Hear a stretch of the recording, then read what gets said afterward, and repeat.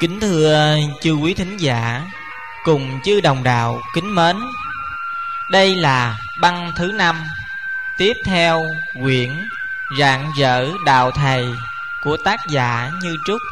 Trân trọng kính mời chư quý vị Cùng lắng nghe.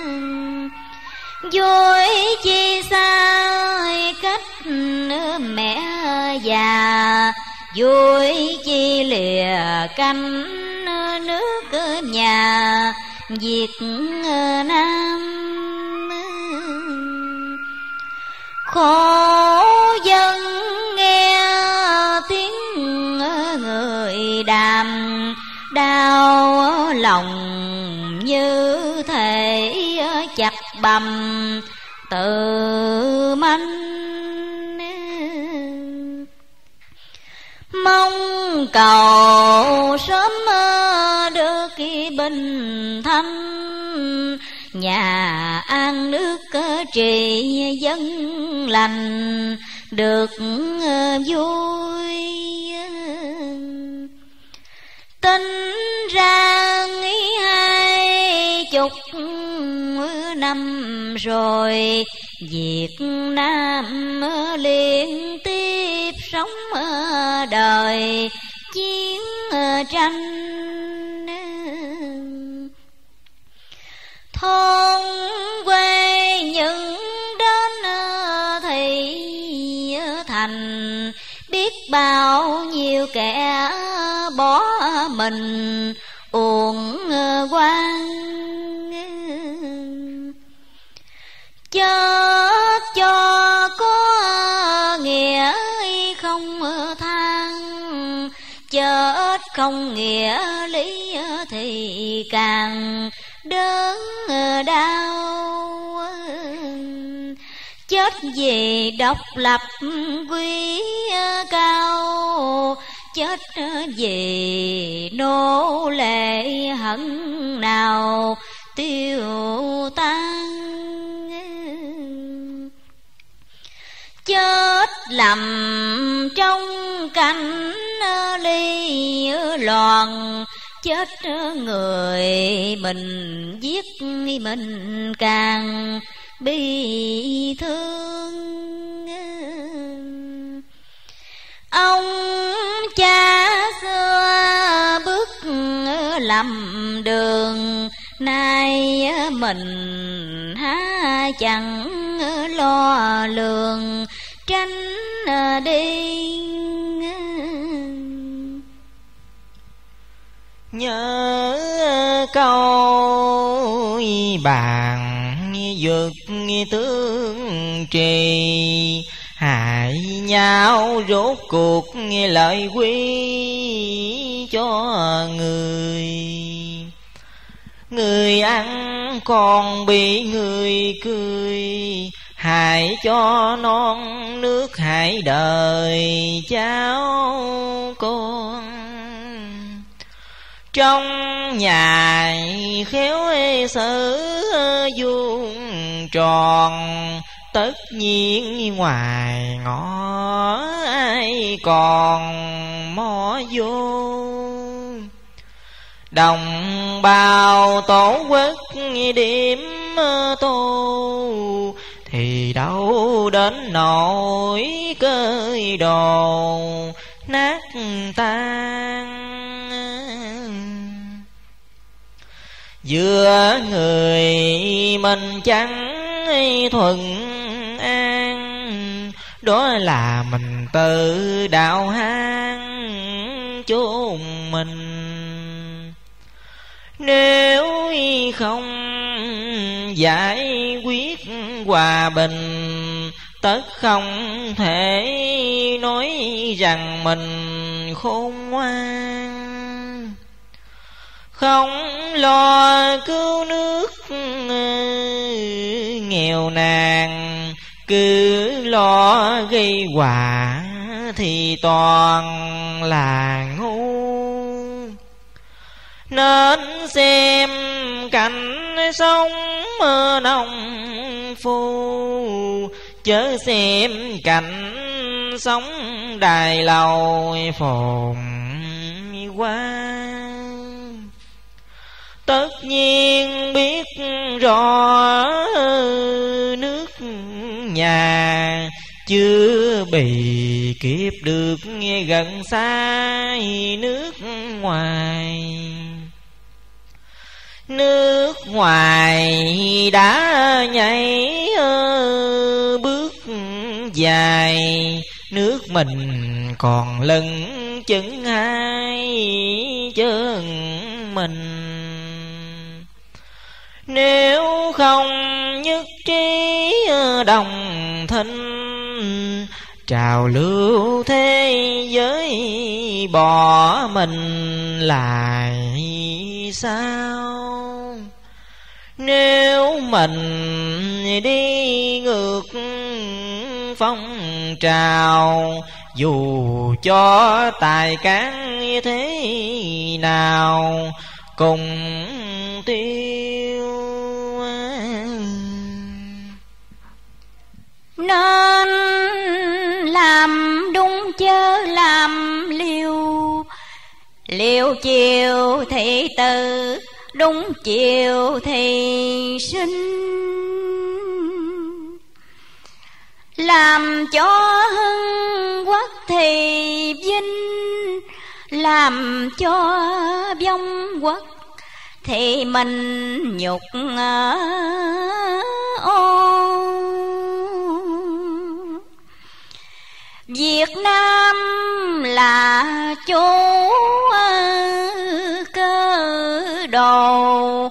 Hoàng ờ, toàn độc lập, tự do nước nhà. Việt Nam chẳng có đôi ba. Việt Nam chỉ một quốc gia hồng bang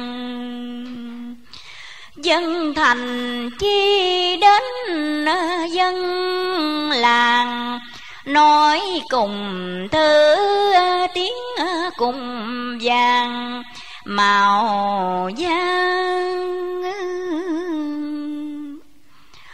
bốn ngàn năm xưa đã qua, Việt Nam dân tộc vẫn là Việt Nam.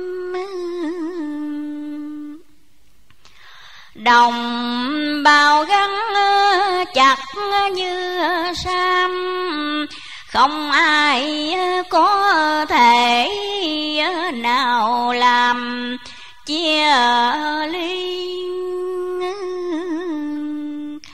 kẻ nào muốn đuổi người đi, chỉ là chiêu lấy hiểm nguy vào mình bắc nam ơi, cùng một ý tình. Đồng bào gom sức giữ gìn giang sơn. Chung lo đoàn kết toàn dân giúp nhau nhà ở cơm ăn áo lành. Xúm nhau đem lại bình thanh, làm cho nước Việt tiến nhanh, nước kịp người.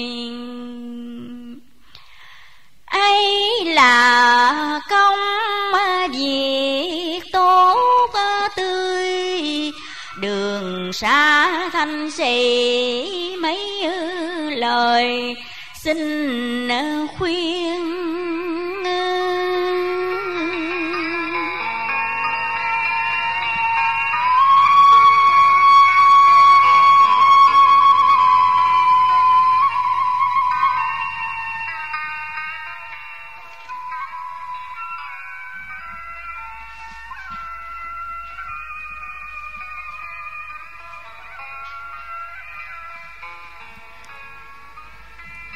Từ ngày tôi đặt chân nơi hải ngoại đến nay, Kể cũng đã ngót hai năm tròn.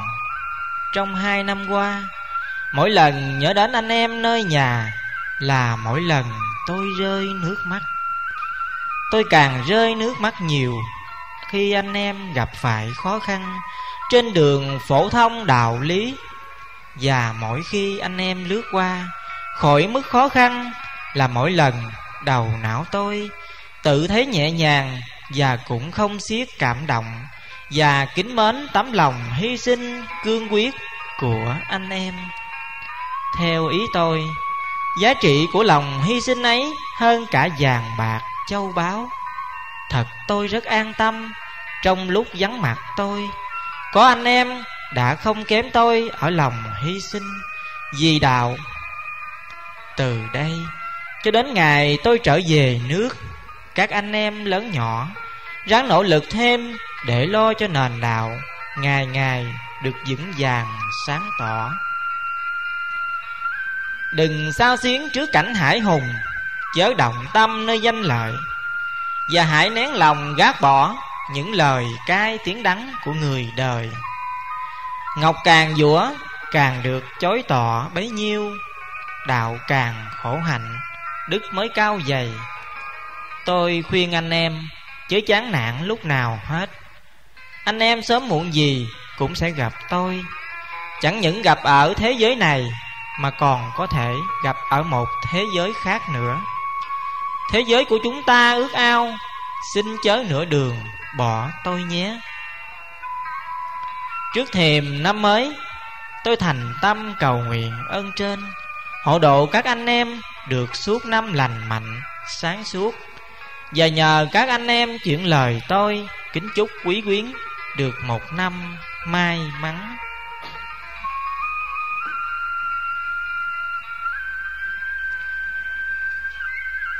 Tam đôi Và chất xa nhau. Những hai tâm thức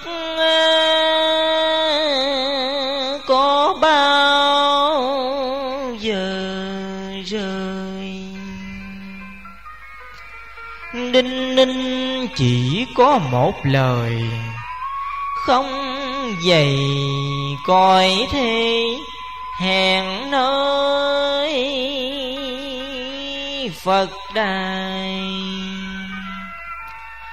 Tin trời chẳng phụ người ngay, nếu không trong hợp cũng chạy hoài.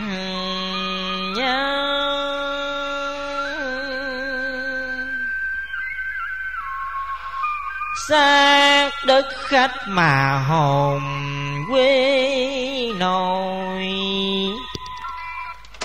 thân xa nhau, tâm nối liền nhau. Ngày như đêm luôn nghẹn ngào. Những khi nhớ đến đồng bào nhớ mẹ già trên đường yêu quanh.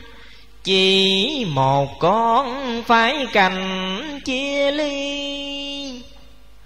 Vì nói theo chỉ từ bi, đành cho con trẻ ra đi nước ngoài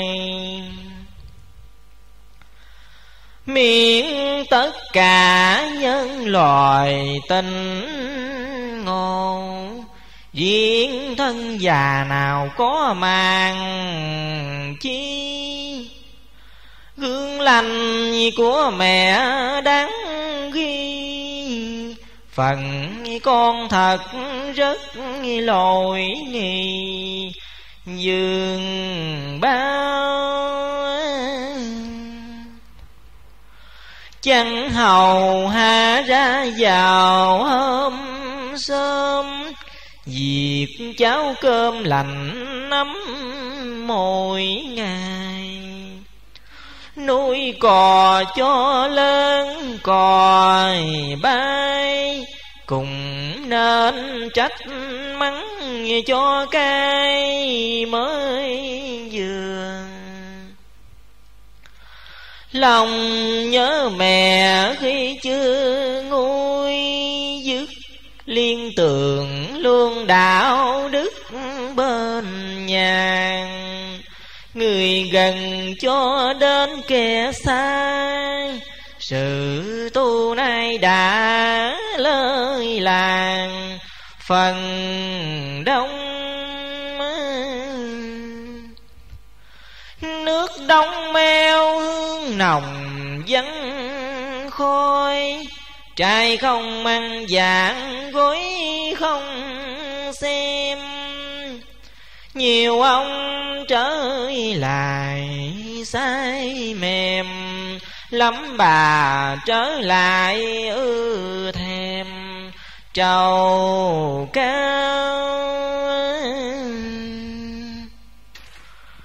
Nào cơ bạc với nào trộm cắp, Nổi lên trong làng ấp mi lung tung. Biến lần tâm tánh ra hung, Việc tu đã chẳng còn dùng làm căn Có kẻ lại quên phân chánh giao dội nghiêng theo tà đạo thính linh. Chốn lòng dưới lớp miêu minh, nghe đâu cùng cứ tưởng tin bướng càng. Nhớ đến đây ruột gan như các muốn về trong tức khắc tới nhà để khuyên khắp cả gần xa, ráng theo đạo chánh đạo tàn, đừng theo. Hương nhớ đốt chung mèo khá rửa trai nhớ ăn dáng kệ khái xem lánh trầu cao, lánh sai mềm, Bỏ điều cờ bạc chớ thèm. Vàng manh Sớm khuya nhớ thực hành chánh đạo Giúp đỡ nhau, chỉ bảo cho nhau. Vinh lòng trước cùng như sao quyết tu dù chết cùng nhau. Ra tu. Thời cuộc giàu bao lâu đi nữa xác thân tuy nghiêng ngựa thế nào, cũng không buồn chán núng nào. Cứ tu dù đến chừng nào, cùng tu. Đây vì bởi mắt câu bị thơi phải tạm nương hái ngoại thời gian. Chừng nào xuôi gió thuận thoảng quê nhà trở lại về đòn để huynh. Diện tuy cách nhân tình đừng cách Nhớ gìn câu kêu thạch kim sơn. Lòng đây với đó không sờn, Đó cùng đây chớ phai lần Nghĩa xưa, Lòng đây chỉ mến nưa đạo đức. Đó cùng nên dáng sức tu hiền. Gặp nhau trên bước đường tiên, Mừng nhau khi được thỏa nguyện từ lâu. Dài hàng diễn khắp đâu đâu.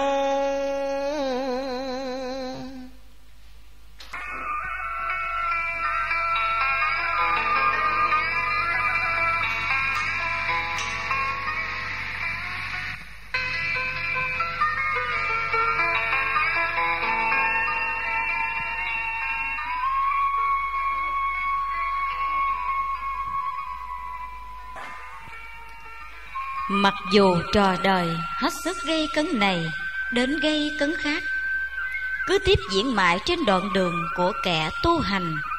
Nhưng tôi cũng lấy làm hài lòng, Được thấy còn nhiều anh em Vẫn đủ nhiệt tâm với đạo.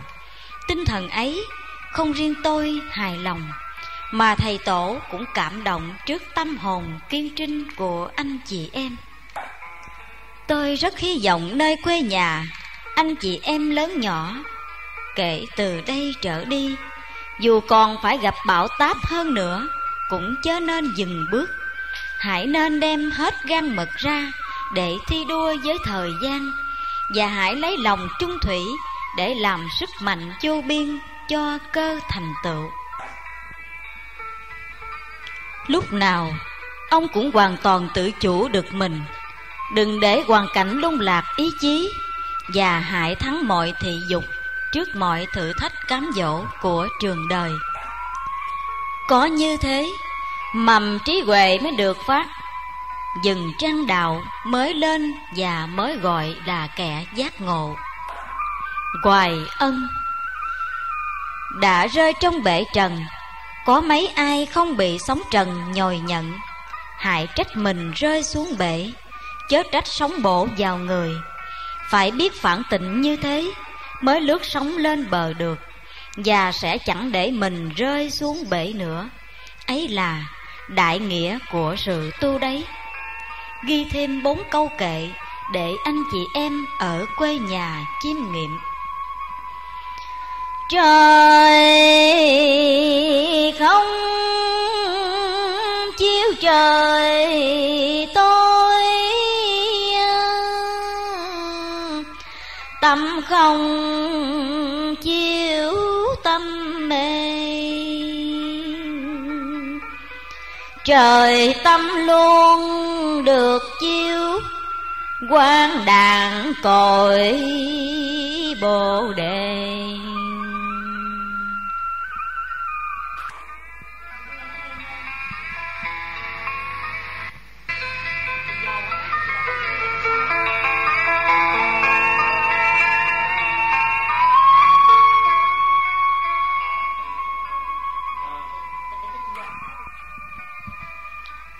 Tôi rất cảm ơn Thái Hòa Đã viết thơ thăm tôi Và báo tin cho tôi biết rất nhiều Về nội tình đoàn thể.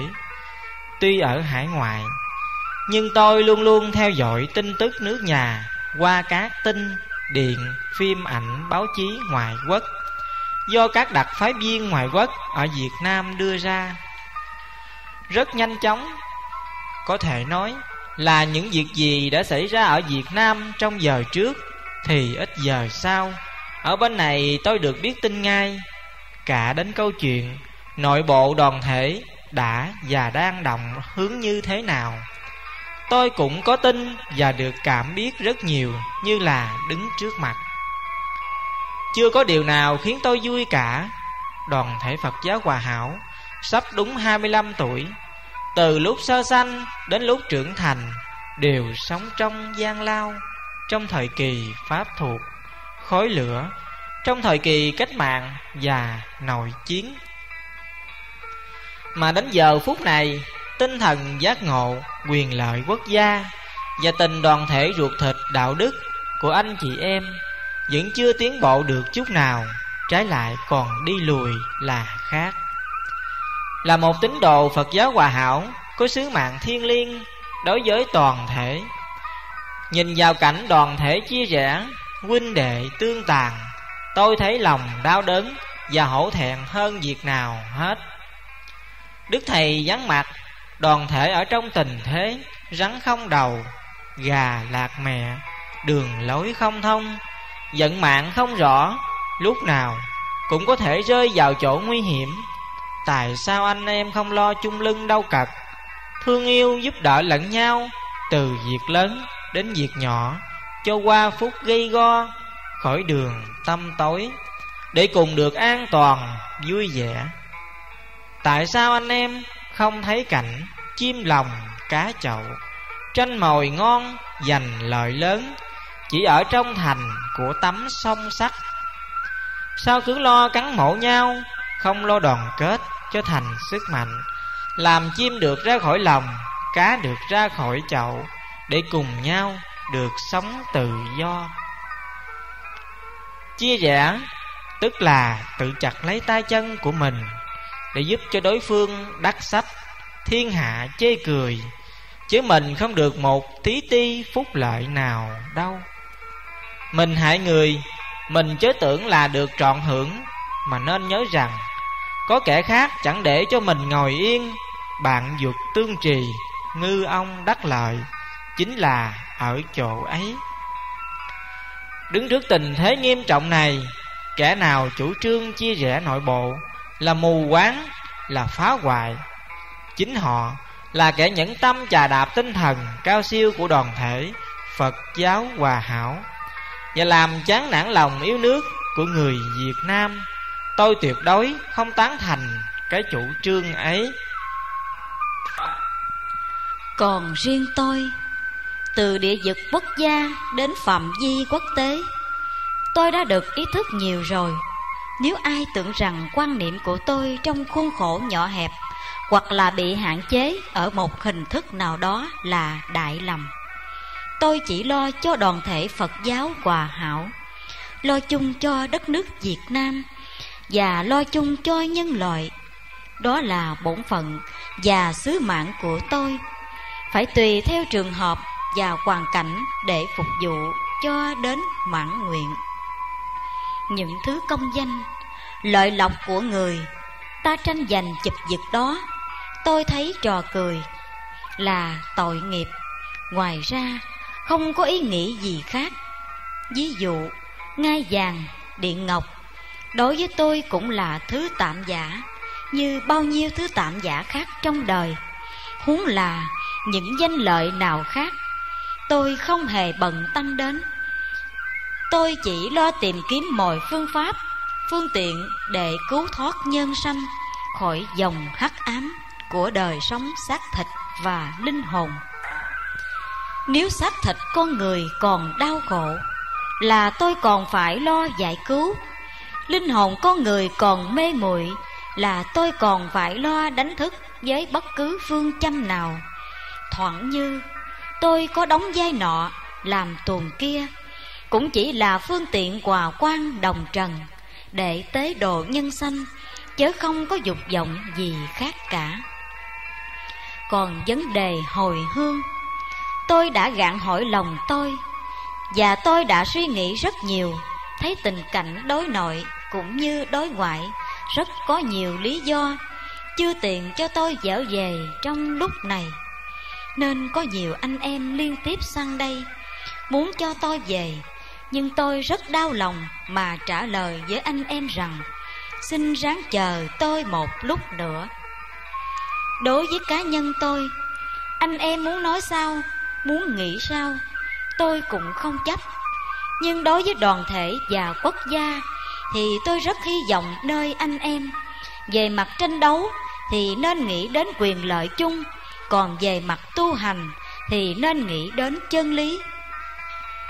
Nếu nghĩ đến quyền lợi chung thì không chia rẽ, nghĩ đến chân lý thì không mê tín, tất không lầm lạc. Yêu đoàn thể, cứu nước nhà và tự tỏ ngộ là ở căn bổn đó. Các điều ấy tôi xin anh em nên nhận xét kỹ lưỡng. Từ khi cất canh giữa trùng dương,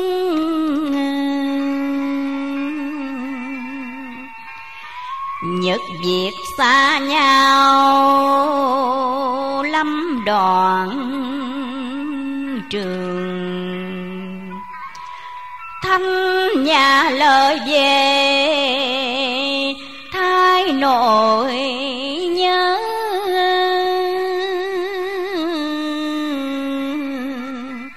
Sĩ hiền thơ gợi thế niềm thương. Thân cầu đạo pháp mau khai ngộ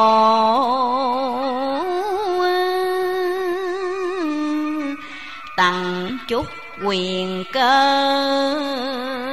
sớm làm tường. Thái là cành màu, đưa khách đến hòa cùng phật hết chuyện luân phương.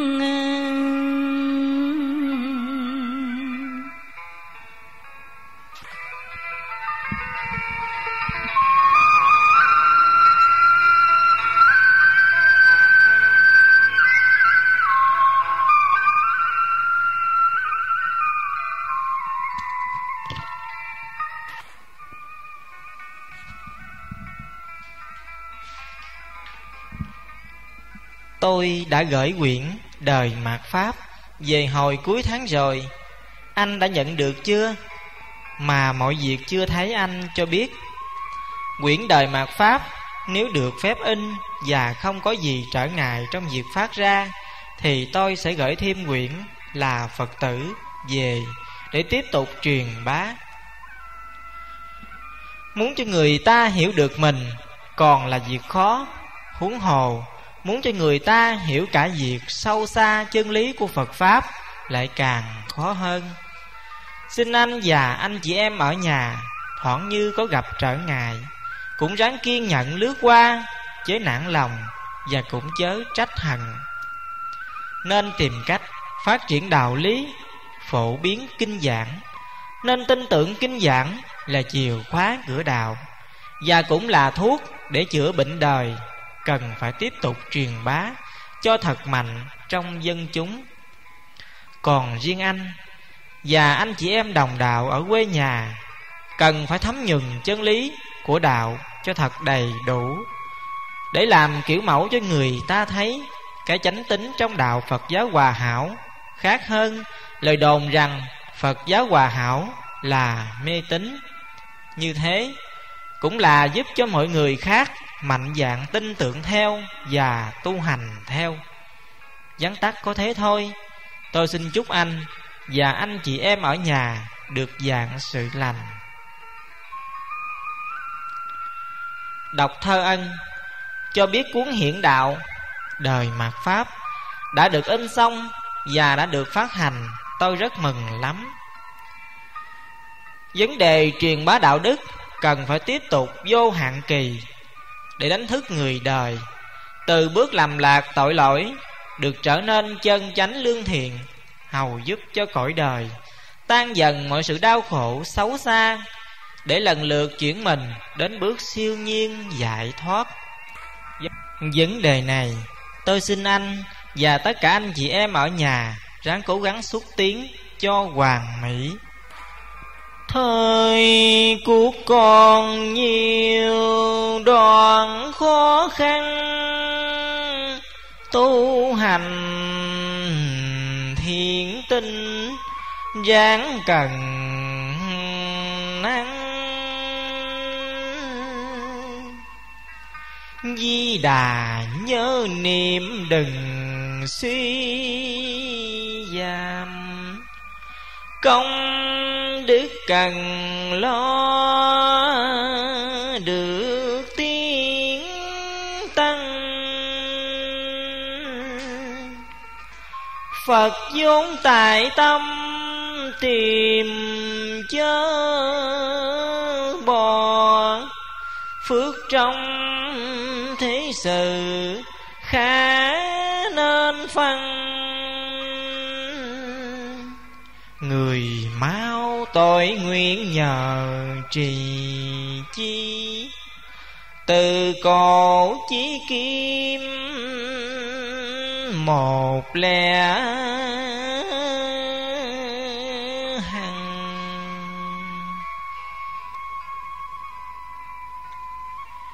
còn quyển là phật tử, cũng nên lo ấn phát gấp cho mọi người đọc đến luôn. Đó là giọt nước cam lộ để rửa bụi đời đấy. Vắn tắt có mấy lời, Tôi xin chúc cho ân Và tất cả anh chị em ở nhà Đều được dạng sự an lành, Tu hành, sáng suốt. Quyết tô đạt đạo chớ đâu không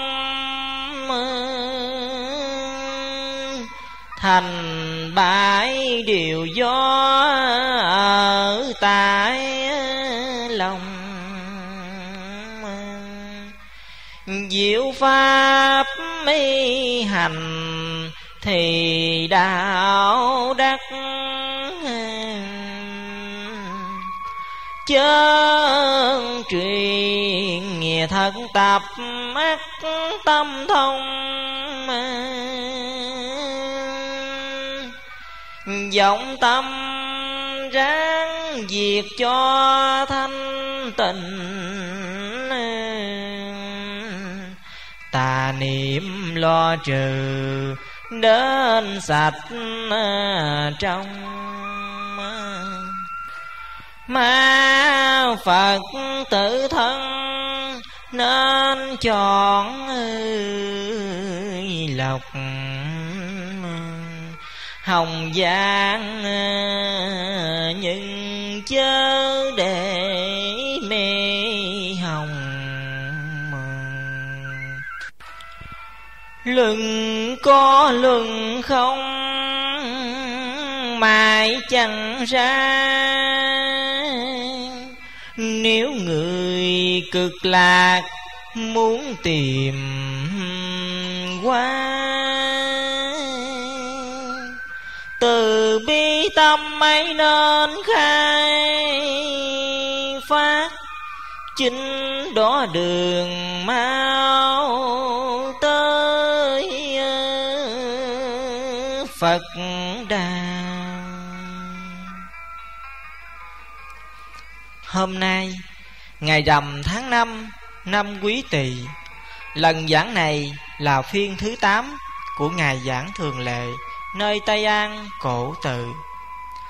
Lần này cũng như bao nhiêu lần khác, tôi không xiết vui mừng được thấy sự tu hành, lòng đạo đức sốt sắng của chư đồng đạo biểu lộ bằng cách đông đúc ở mỗi phiên giảng.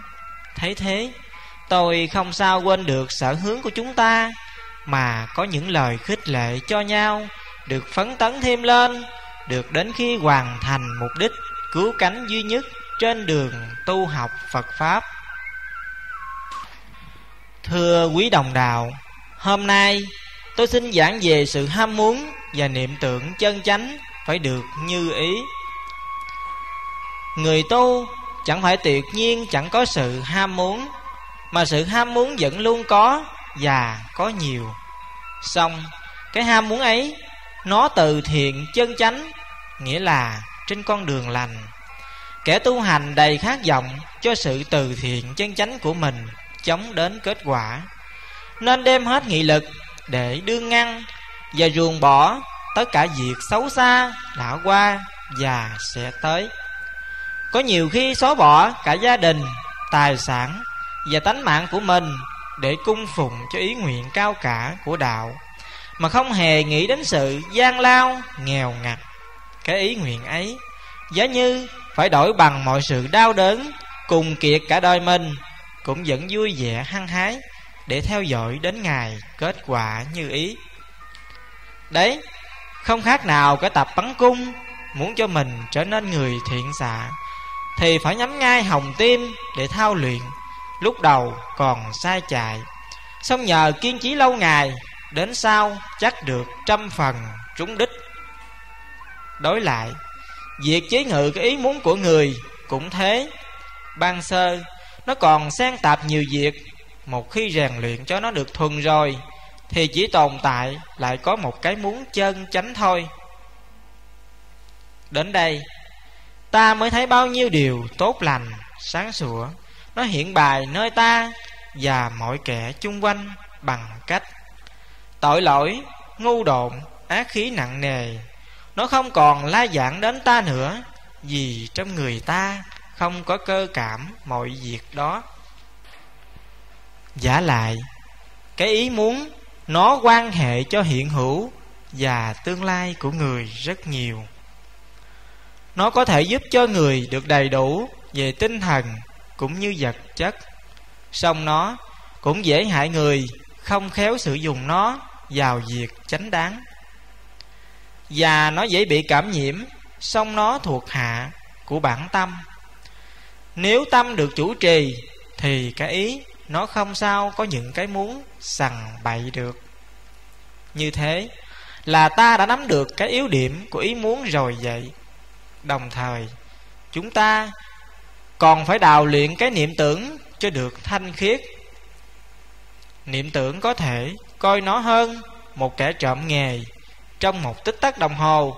Nó có thể vào nhà này, Nhà nọ Và khắp cả thế giới Một cách nhanh chóng, Quỷ quyệt. Mà có người khó có thể tìm thấy tung tích Hoặc ngăn chặn trước được. Từ chỗ niệm tưởng sái quấy Dẫn đến hành động tội lỗi dễ dàng Như người chơi dao Dễ bị đứt tay Chúng ta trong lúc cúng lại Cũng như khi ngồi niệm Phật đều phải có sự niệm tưởng tha thiết, cố kéo cho tinh thần giữa mình với chư phật được gần nhau. Ngoài ra, không thể có cái niệm tưởng nào khác, chen vào, cũng như quan công phá ngũ quan, trảm lục tướng, để tìm lưu bị thì mới có hiệu quả trọn vẹn. Một khi cái niệm tưởng đã được duy nhất cùng đức phật, ta sẽ thấy giữa ta và đức phật được cảm thông trực tiếp không bị một hoặc trần nào làm chướng ngại đến đây ta sẽ được tự do đi lại khắp chỗ sắc không mà chẳng hề bị cảm nhiễm vì ta đã trở về một lẽ chánh niệm như như của chư Phật. Nhân đó, bao nhiêu đức tánh từ bi hỷ xã ta sẽ đem ra thực hiện cho chúng sanh mà không bị núi nhân ngã cản trở, lửa sân hận thiêu đốt, hoặc nọc phiền não giết hại, lòng bi nguyện thâm thiết của ta được.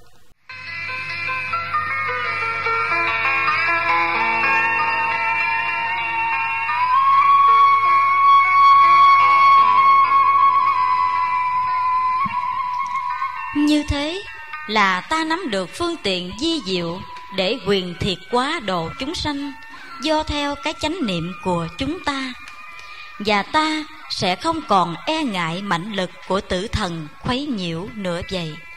Thưa quý đồng đạo, sở dĩ chúng ta phải luôn luôn khắc nghiệt với mọi ham muốn và niệm tưởng xấu xa nơi ta là bởi chúng ta đã xác nhận có nhân quả, địa ngục và có luân hồi. Vì rằng, nếu ta gieo học giống ham muốn, niệm tưởng xấu xa sẽ không tránh khỏi ngày kia hái lấy bông trái xấu xa.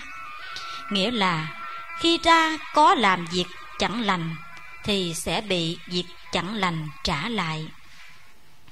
Mà vào khám đường, thế gian hay địa ngục u minh hoặc bào thai cõi trần cũng là một phản ứng của luật nhân quả ấy mới có.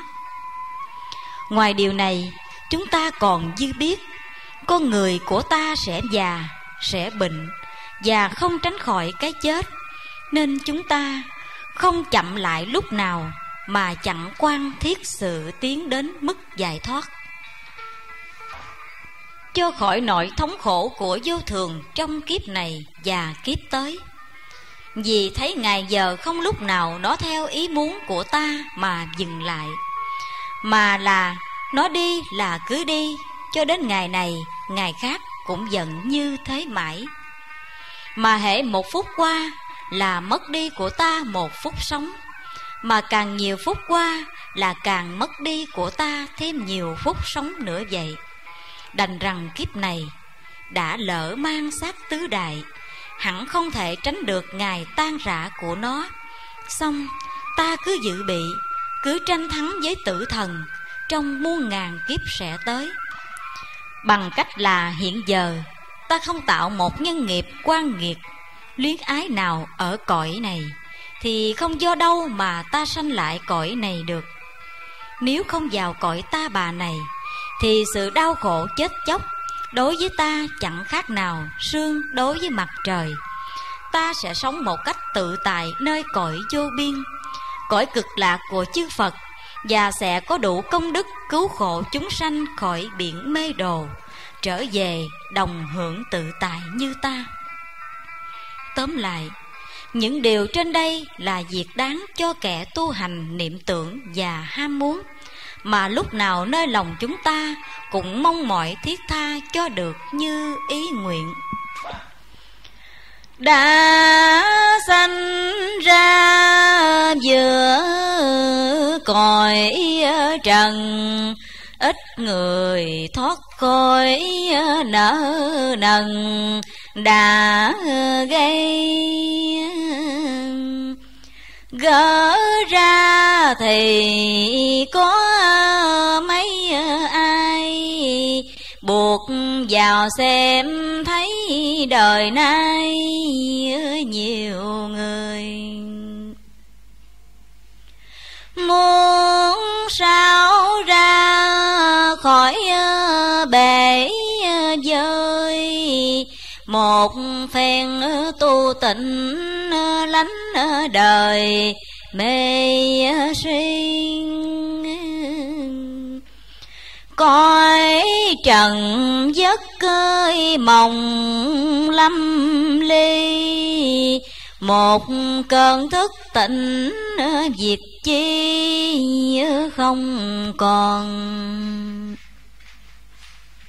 Nhớ đây cuộc cưới tạm thon giòn Mọi điều dân ờ, có hao mòn, mãi thôi cõi trần khổ lắm ai ôi, con đường đạo đức khi trao dồi chớ quên. Làm sao cõi phật được lên? Thoát đường sanh tử mới bền bớ ai? Mấy khi người cổ tái lai, nếu không trở gót uổng thai, muôn đời kể cơ giảng giải hết lời, mà lòng sanh chung ít nơi tính thành. Mỗi khi nhìn mối đạo lành, tâm hồn dường thế ai đành sẽ tan. Thương dân xào héo tim gan, mến người canh khổ mới toan khuyên người. Nhưng ngồi mấy ờ, kẻ nhớ lời tưởng đây là quyến rũ người mê man. Biết đâu cuộc thế sắp tàn, cho nên tiên phật hiệp đàn tái lâm một phen ờ, đạo lý ờ, ca ngâm, khiến người sớm ờ, biết để tầm đức ân. Ngày kia được lánh mê tân kéo mà hỏi tiếc muôn phần bớ ai? Đạo đồng già trẻ gái trai, đi nghe lời giảng bấy nay cùng nhiều. Hỏi ra mới được mấy điều phần nhiều kia lại vắng hiu có nào. Lời khuyên thật rất ngọt ngào, chỉ vì muốn kẻ được mau đắc thành nhiều khi tâm trí sĩ ờ, thanh tôi buồn thương xót chị anh sao này. Tuy rằng bổn đạo đức thầy Không làm chân chánh Sau này cùng tiêu. Khác phe mà giữ luật điều. Ngày kia cũng được sống nhiều hơn ai. Công bằng lẽ ấy không sai. Hỡi người đồng đạo hôm nay Khuyên ca đây cũng hết tình. Ngát lòng kia chẳng biết dình làm sao. Tưởng cho nơi cõi trần lao, nước còn mãi mãi nên sao làng lòng ai ôi, hãy ráng làm xong. Một là có đức hai công với đời. Ngày kia mới được chối ngời. Sống còn trong phút lập đời bơ dân nhìn nhau mà luôn buồn bâng, thương nhau không thể ngại ngần lời chi. Khóc đời gặp đấng từ bi, mà tâm kia lại ngoảnh đi, không nhìn khóc đời mê luyến đời kim. Không nói người có thoát miền lao lung.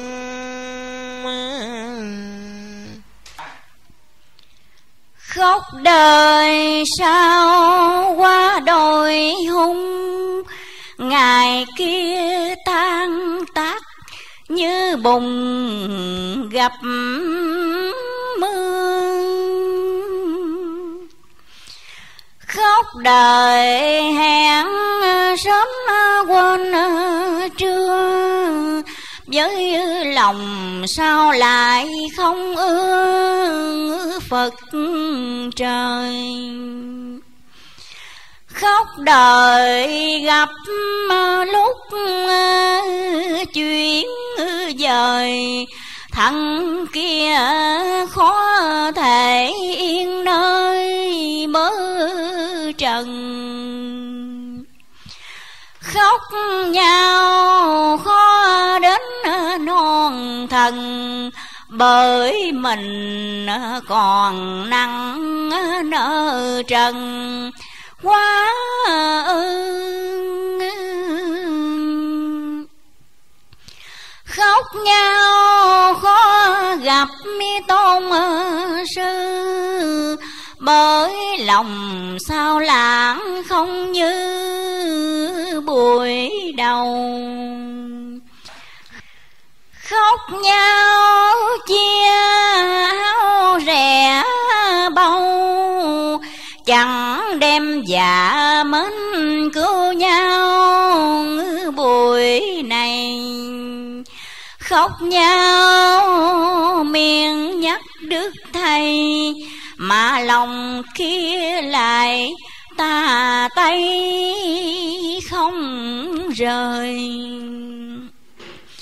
Khóc nhau lời chẳng nhớ lời đua theo hiện hữu quên đời, thượng lai.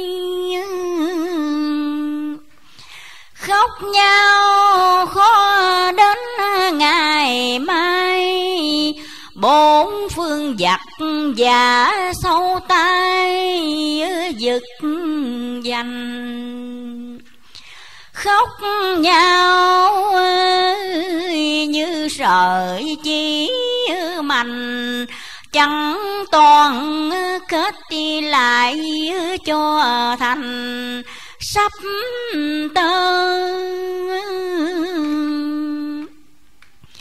Khóc nhau như đứa con thơ một khi vắng sửa ngần ngơ, khóc hoàng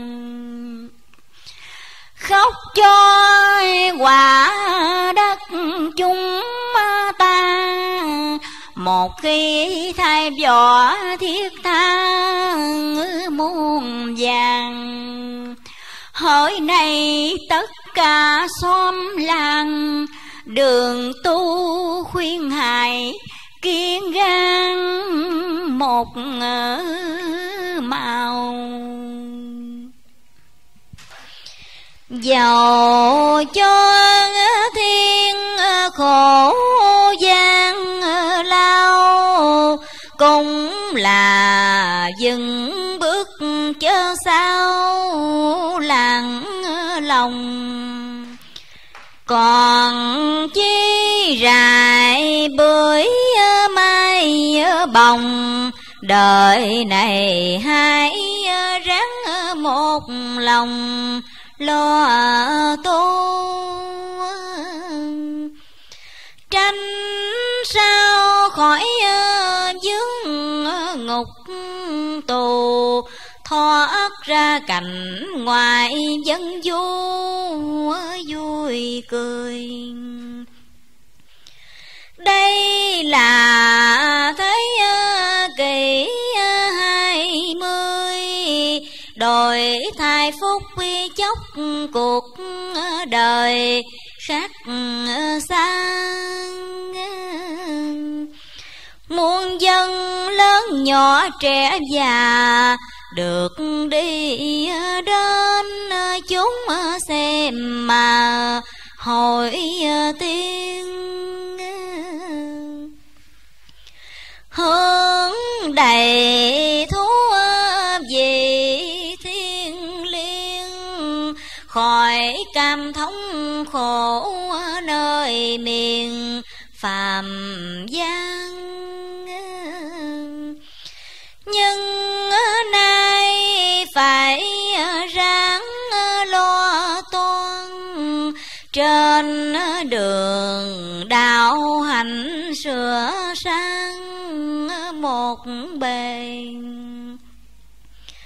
Trong nhà ngoài ngó chinh tề, sự thân cho vẹn không hề lao đao. Việc cái đời chớ hỏi chừng nào Hãy nên lượng xét trước sau thời tường. Chiến tranh nổi dậy khắp đường, Cuộc đời lai lắc như giường, lá rung Biết sao khắp cả cõi hồng Cùng nhau được có một lòng mà thôi Nay đây thấy à, cuộc khởi ôi, Bởi tâm dân chúng vô hồi rẻ chiên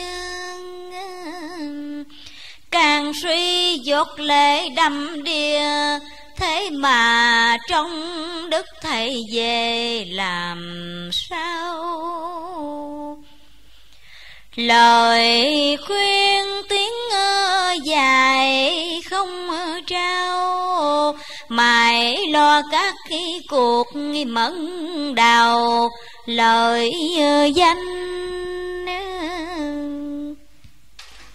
Làm dân còn chẳng diện mình.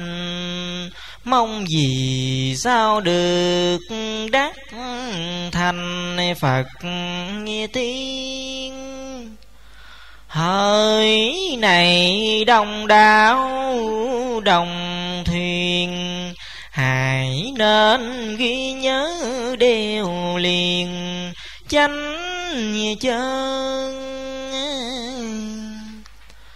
khuyên nhau nay được gặp cơn.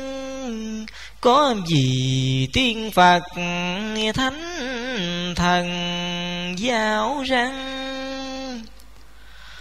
nên ghi nhớ phật pháp tăng, với lòng hôm sớm dần năng kinh thiền làm xong được mọi việc hiền cùng như được có chiếc thuyền qua sông tiễn bề đến hồi qua long dừng vàng tới được còi bồng dân. Có thân hãy liệu lấy thân, trễ chân ngắt phải lâm cơn tai nạn. Mọi người đều có gia can, hãy khuyên nhau được bền gan.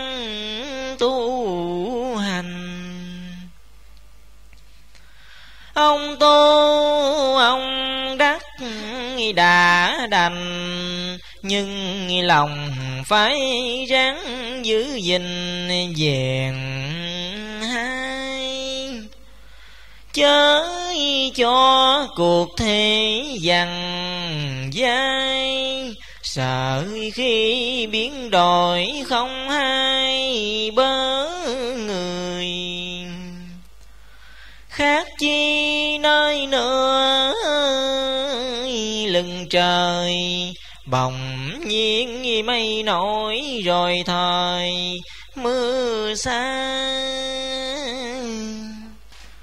Quyền di khó lượng thai là không toán trước đến sao mà khó toán làm sao giờ trót cháy ờ, sang? Qua nơi dân giáo khỏi mang thương nghèo.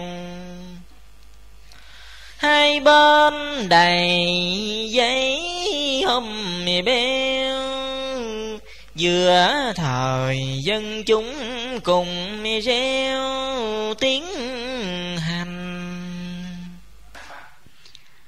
Chừng khi bước đến nam thành, nhìn ra mới thấy nơi mình máu không ngày nay tu niệm coi đông, đến khi thành tựu gấm không mấy người. Thấy à, vui à, mà chẳng dám cười. Thấy à, buồn lại gắn khuyên đời nhớ ghi làm sao khi đến à, trường thi? Tài à, rinh nhành quê thiệt đi à, anh tài bây giờ tập viết học bài để lòng cho thuộc đến ngày ứng khoan. Đồng đạo hải nhớ kỹ ra, thì đây thì chỗ lòng ta hiền lành. Ngày kia các đấng thần minh tùy theo mỗi xác hiền lành, mượn tay để hầu cứu độ muôn loài chuyện xoay đất, nước thoát tay hung tàn. Bây giờ tâm chẳng sửa sang, ngày kia ma quỷ chúng mang đến vào chừng à, ni à, cờ sắc đủ màu. Hãy tùy theo ngọn à, cờ nào. Chánh chân nhớ ghi cho rõ lá và găm là hơn mọi cờ. Nhưng không ờ, có chữ bao giờ mới là của quý để chờ. Mai sau hỡi này đồng đào sữa trao, trên đời quả thiệt hai màu trồn pha có thật thì có giả ra, nhưng ôi tồn tại gầm ra lẻ màu sự tu cần phải à, gắn à, cầu. Sớm hôm thành kinh à, mới hầu được nên ngoài ra việc thiện cứ bền lo làm tất cả việc hiền, chớ xa như xưa đức ơi phật di đà, làm vua ngôi vị hơn mà nhân dân một khi gặp phật ứng thân, hy sinh tất cả không cần món à, chi. Bốn mươi tám à, nguyên à, còn ghi, đầy lòng bác ái từ bi với đời chẳng ham danh vọng của người, không ham phú quý gặp nơi nhiễm màu đồng đạo dấu phải chờ lâu với tâm kia chớ nghĩ đâu, xa vời. Xung quanh đều có đất trời, xét soi mỗi lúc xin người chớ quên. Chẳng qua thiên đình chưa yên vẫn còn hì hục để đền quả căn. Một khi quyền trướng phá băng, ơn trên phật định thì an mọi bề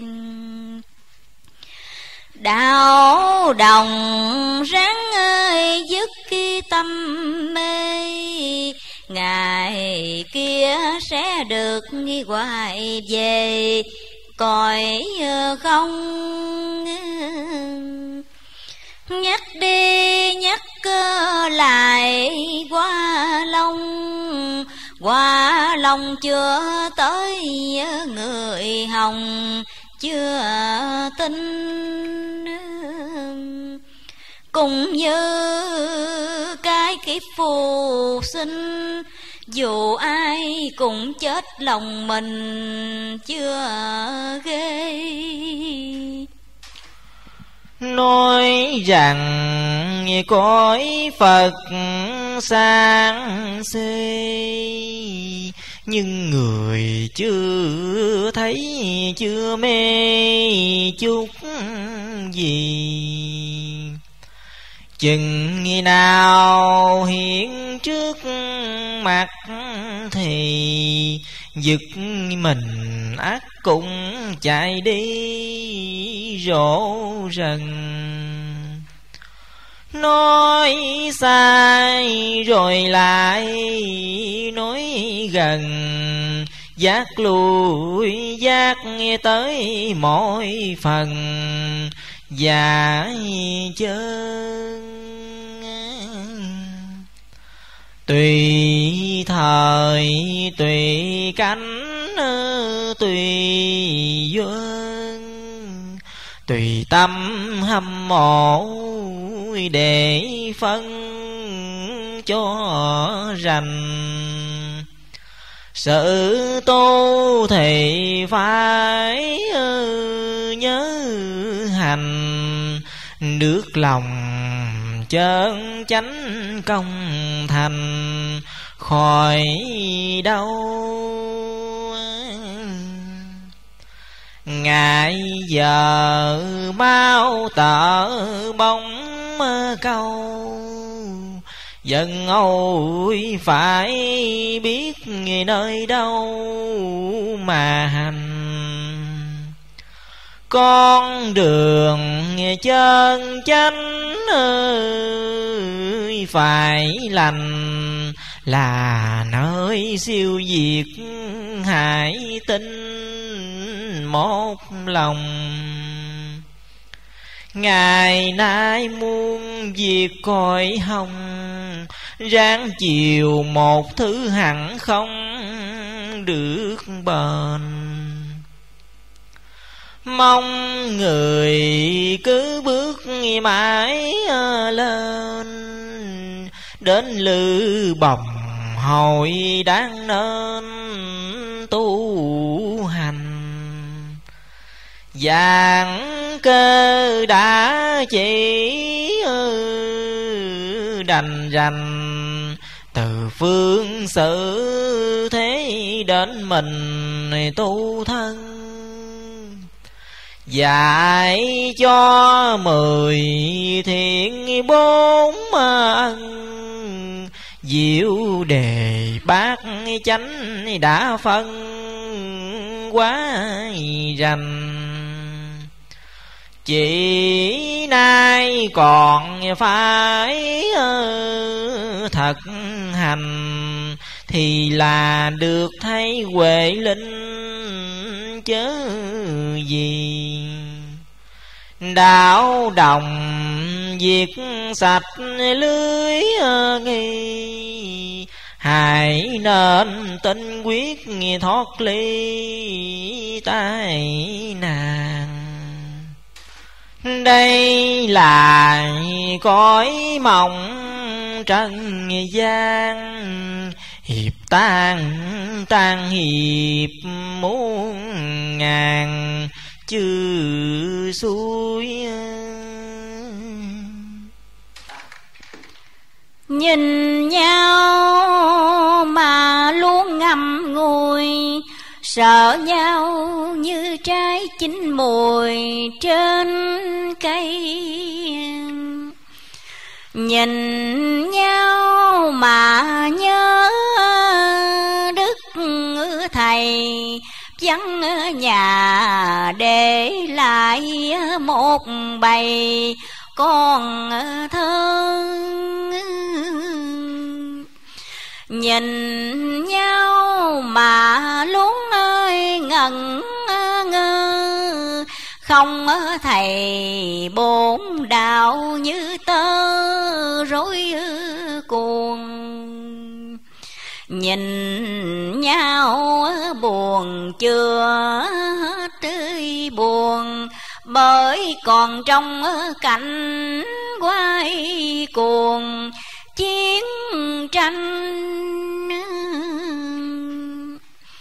Nhìn nhau xào năm canh, muốn sao được một tâm thành như nhau.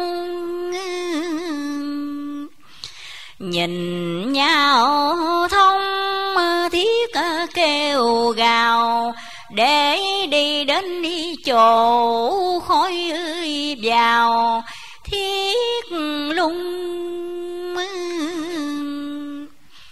nhìn nhau xào héo tâm trung, kêu nhau hại ráng vậy dùng kiên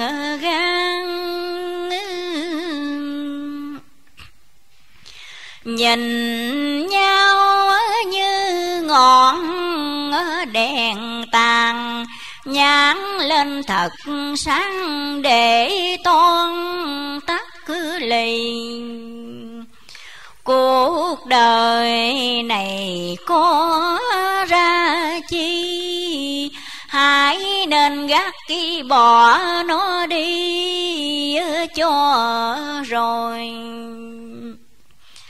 cũng ờ, ăn ờ, cùng mặt ờ, như người mà tâm đã lánh nữ cõi đời phàm nhân. Hỡi này đồng đạo xét phân, Giảng cơ đâu có lửa lần với ai. Nói thời chỉ à, dùng lời à, ngay. Vì tình bác ái à, phô bài, đây thôi.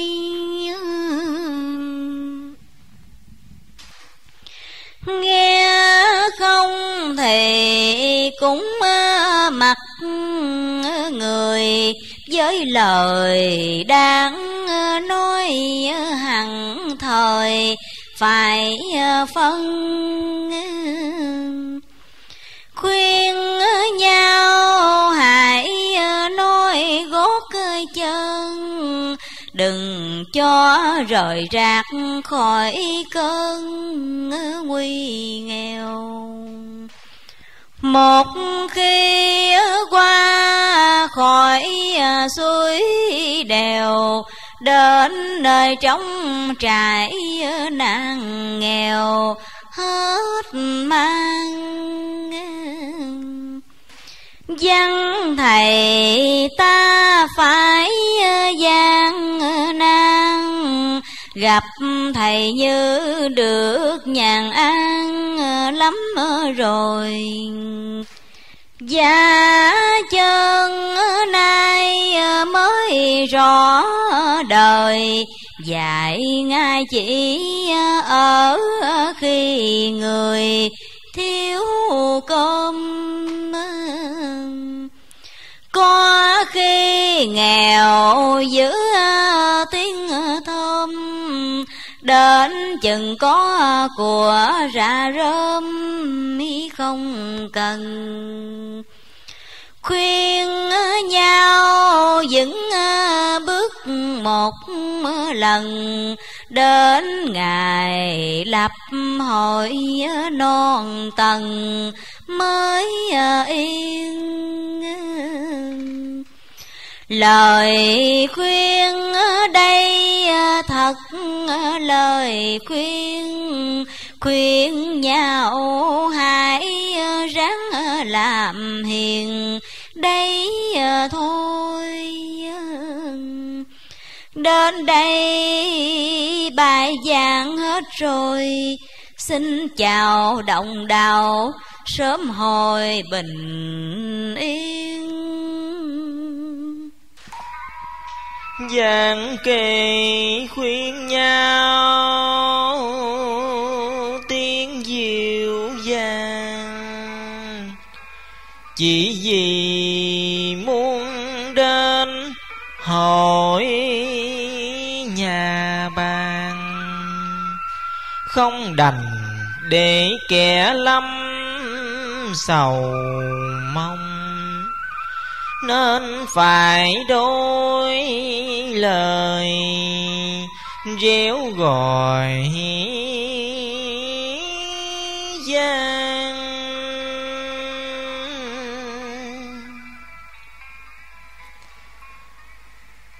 Giấc mộng nam khai cùng chán nhà.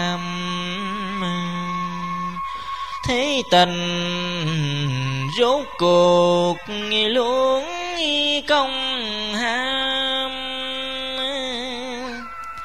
hợp tan tan hợp duyên đời tam. Sanh tử tử sanh, nghiệp cõi phàm. Đời khổ biết ra nên giải thoát. Kiếp mê hiểu được mượn thiền lam. Nam mô Quan Thế Âm Bồ Tát. Xin rưới cho trần giọt nước cam. Đạo chung cho thiên hà đạo chẳng riêng ai cả. Đạo chỉ làm siêu thăng đạo không suối xa đò.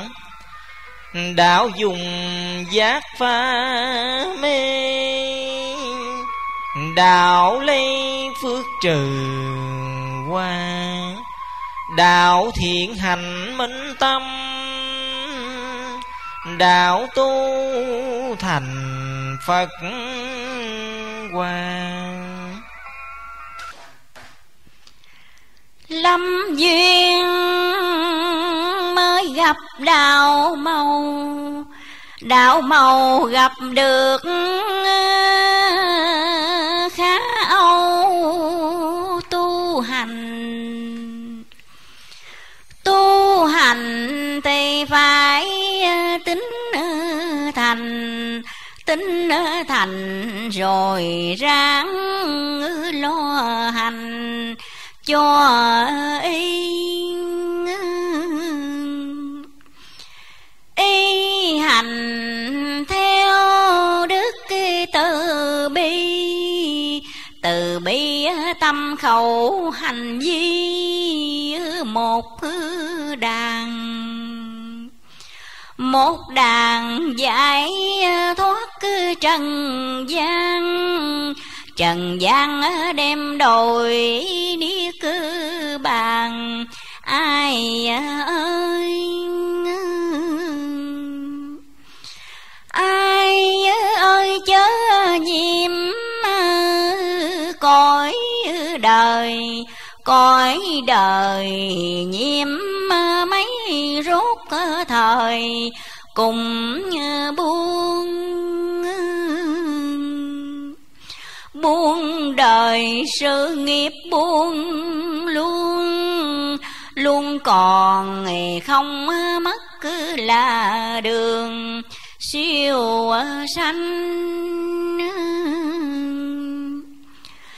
Siêu sanh nhờ trọn lòng lành.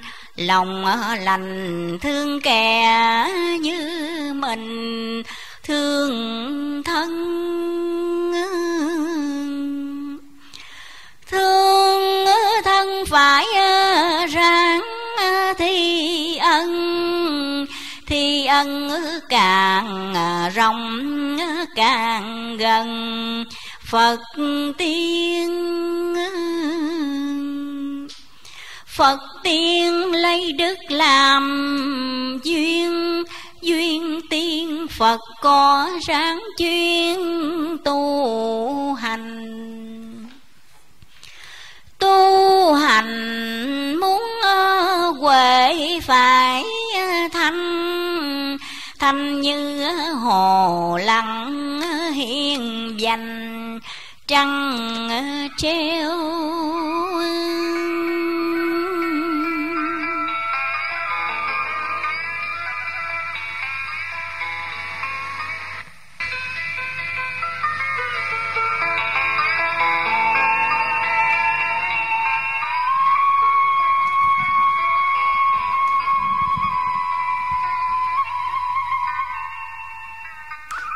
Kính thưa chư quý thính giả cùng chư đồng đạo kính mến Băng năm quyển rạng rỡ đạo thầy đến đây xin tạm dừng. Kính mời chư quý vị nghe tiếp theo băng thứ sáu, Nam Mô A Di Đà Phật.